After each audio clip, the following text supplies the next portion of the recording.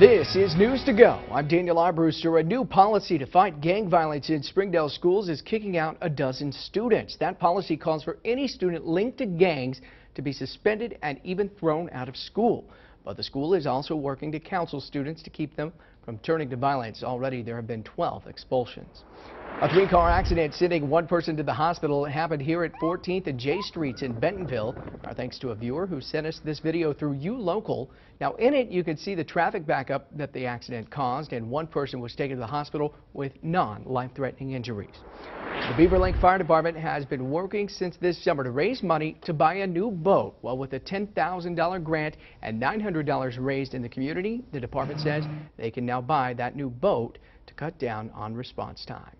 Well, now let's get an update on your forecast. 4029 Chief Meteorologist Darby Bybee standing by. Yeah, and you know what? We did see a warm afternoon. We're going to see another cool night for us, so a big contrast in temperatures uh, from the afternoon to tonight with lots of sunshine, leading to relatively warm temperatures and uh, those clear skies helping to cool us off at night. So you may not need the jacket this evening early on, but as you get throughout the evening, the temperatures are going to plummet pretty quickly. So by 10 p.m., most of us in the 50s in northwest Arkansas. So cooling off pretty quick out there as we wake up on our Wednesday morning, you early risers out there. Uh, temperatures in the lower 50s for us.